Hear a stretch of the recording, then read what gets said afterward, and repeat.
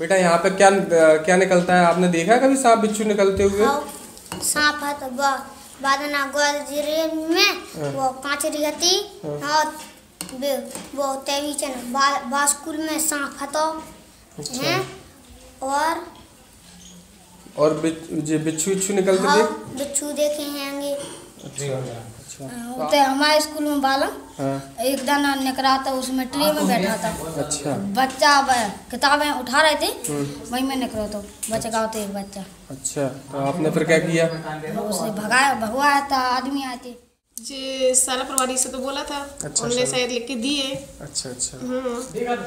निकलते हाँ। वैसे कब कब ज़्यादा निकलते हैं? बारिश के टाइम में। बारिश के टाइम में और अन्य मौसम में भी आप निकलते नहीं रहते नहीं हैं? अन्य मौसम में नहीं निकलती तो आप। क्या सावधानियाँ बरतते हैं इसके लिए? इसके लिए बच्चों को यही है कि पहले तो लकड़ी से कुछ भी सामान अपने बुक्स उठा रहा ट्रे वगैरह तो दूर से उठाए।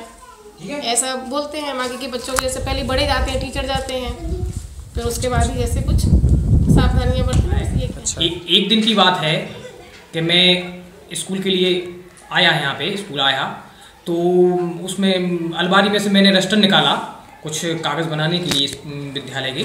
तो उसमें देखा कि काले सांप की वो क्या बोलते हैं कांचरी वो है उसमें। तो हम तो डर गए बहुत ज़्यादा डर गए हमने कि ये क्या है? देखा तो उसमें। तो बहुत ही सांप वगैरह बिच्छू वगैरह निकलते हैं इस विद्यालय में।